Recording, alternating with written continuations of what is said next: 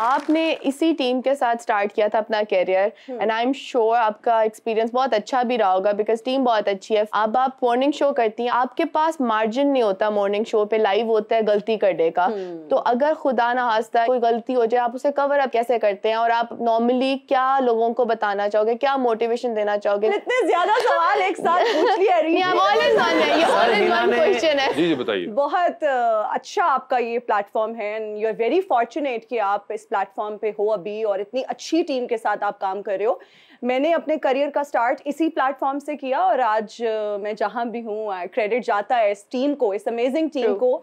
बहुत सपोर्ट किया इन्होंने मुझे मैंने बहुत कुछ सीखा और अगर आप कंसिस्टेंट हैं अगर आप पंचुअल हैं तो फिर कामयाबी आपका मुकद्दर है। जितनी मेहनत हिना ने की है ना हाँ। कोई कर ही नहीं सकता। मसन सराइकी बोलनी है इंग्लिश बोलनी पंजाबी उर्दू पता नहीं जो जो जुबानें सानू नहीं होंदियाँ।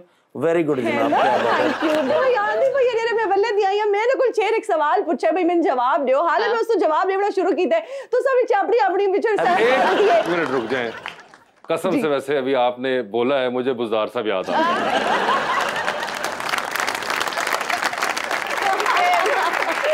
वैसे ही ना आपको ये भी एक क्रेडिट जाता है आप उन चंद एंकर्स में से हैं हाँ जिन्होंने बुजदार साहब के दौरे हुकूमत के अंदर उनको इंटरव्यू किया था। जी जी बिल्कुल वो स्टोरी भी मैं शेयर करना चाहूँगी। प्लीज़ हम, करें क्योंकि उसके अलावा तो हमें से किसी का एक्सपीरियंस ही नहीं हुआ ये सिर्फ़ दो तीन लोग थे जिनको ये फैज हासिल हुआ था। जी जी हुआ कुछ यूँ कि हम एक ईद का मैसेज रिकॉर्ड करने गए और उसके लिए मुझे भेजा कि आप जाएँ और मैसेज रिकॉर्ड करके लाएँ। एक दो क्वेश्चंस थे। जब मैं गई तो उन्होंने कहा आज तो मैं तैयार नहीं हूँ।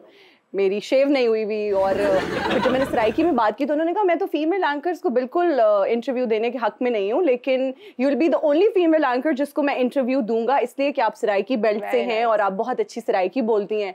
बड़ा इंप्रेस हुए और उन्होंने मुझे अगले दिन फॉरन से कहा कि हम एक proper each show type plan करते हैं सिर्फ़ मैसेज ही नहीं और क्वेश्चंस वगैरह फिर हमने डिस्कस कर लिया इंटरव्यू आपने किया तो वो बोल रहे थे? He is a wonderful human being बहुत इनोसेंट है मुझे लगता है। अच्छा आपने इस बात का तयन कैसे किया? कि वो सवाल का जवाब भी उनको वो सीक्वेंस में ही आप सवाल ही बताती थी और जवाब ही बताती थी। मैं बुजार साहब आप मुझे कोई सवाल कर रहे थे। एंड जो है इंटरव्यू बुजदार साहब आप ईद पे लोगों को मैसेज क्या देना चाहेंगे? खैर मैं खान साहब से को पूछता हूँ। नहीं मगर एक्चुअली आपके सामने सही बोलते थे वो। नहीं एक्चुअली उनको बहुत अ, हमने पहले सवाल भिजवा दिए थे और अगर मेरा सीक्वेंस ऊपर नीचे होता था कि अगर मैंने तीसरा सवाल दूसरे नंबर पे पूछ लिया है तो वो बहुत ऑफेंड होते थे कहते थे ये नहीं दोबारा से वो दूसरा सवाल. है ना ये बताइए मशहूद साहब से मुलाकात हुई है कभी पहले?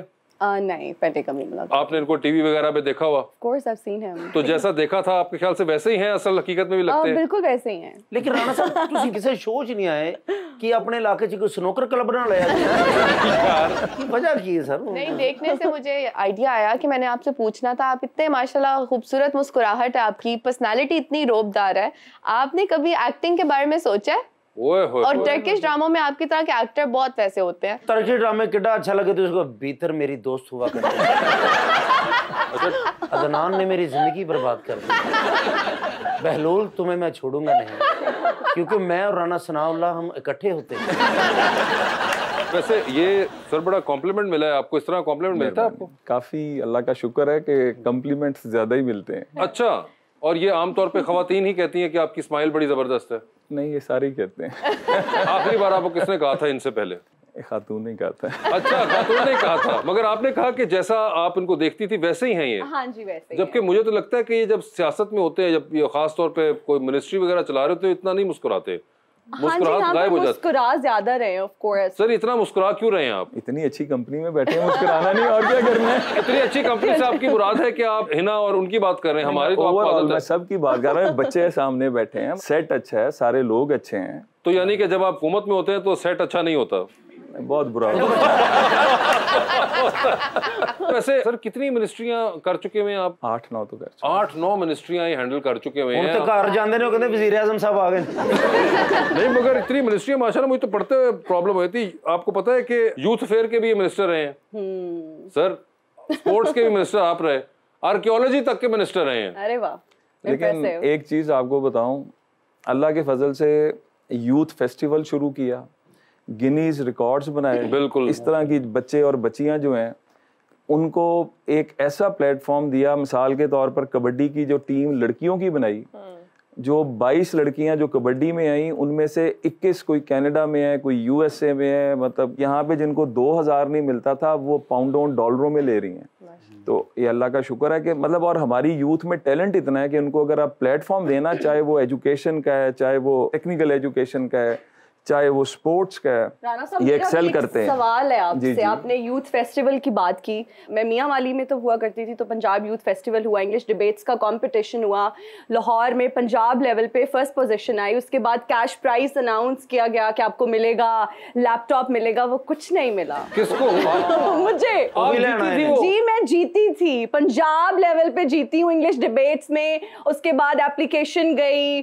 मियाँ वाली से मेरे होए, कॉलेज की तरफ़ से? गई। 2013 14 का वाकया है। थर्टीन फोर्टीन का वाकया ओए और पंजाब यूथ फेस्टिवल में जो मेरा कैश प्राइस उस वक्त अनाउंस हुआ था मुझे नहीं मिला कितना था? दो लाख था प्रॉबेबली और उस दो लाख बहुत तो ज़्यादा दस साल पुराना कर्जा निकल आया हुआ ये तो ना मुझको लग ही रहा है कि जिस तरह अलवी साहब को 22 दिन गुजरने के बाद याद आया इनको 10 साल बाद याद आया। उसे हीना न्याजी का कर्जा नहीं ला सकते थे आईएमएफ का कितों लाओ मगर राणा साहब बात ये कि उनको आज आप मिले ही पहली दफ़ा हाँ हैं। ये तो 10 साल लग गए आपको ढूंढते ढूंढते। फॉलो अप के लिए हम लोग एप्लीकेशंस लिखते रहे मेरे कॉलेज से एप्लीकेशंस गई डीसीओ मियाँ वाली ने एप्लीकेशन लिखी। बट नोबडी रिस्पॉन्डेड लड़की ने तो पूरा ट्रैक रिकॉर्ड भी रखा हुआ है सर पहली तो बात है वो रिकॉर्ड सारे का सारा नैब उठा के ले गई मतलब वो जो और आपको पता है कि कितने अफसोस की बात है कि हमने रिकॉर्ड बनाया पाकिस्तान का परचम बनाने का जिसको गिनीज ने दुनिया का सबसे बड़ा परचम डिक्लेयर किया दुनिया का सबसे बड़ा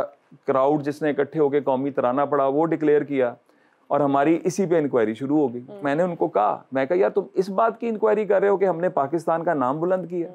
और मज़े की बात देखें उन्होंने कहा कि आपने 10 अरब का इसके अंदर घपला किया जबकि टोटल बजट 35 करोड़ था। नहीं मगर वो शायद कहना चाह रहे हो कि पैंतीस करोड़ लगा था मगर असल में दस अरब था जो कि नहीं नहीं एलोकेट हुआ था। ना ना एलोकेट पैंतीस हुआ था। अच्छा। ठीक है। और जब उनको बताया गया कि भाई पैंतीस करोड़ था तो तभी तो अल्लाह ने बचाया वरना तो बाकी सब अंदर थे मैं अकेला ही बाहर रहा हूँ। मगर देखें हमारी तो लड़की का काम नहीं हुआ वो उसने आज लेकिन मैं इनका रिकॉर्ड चेक करवाता हूँ।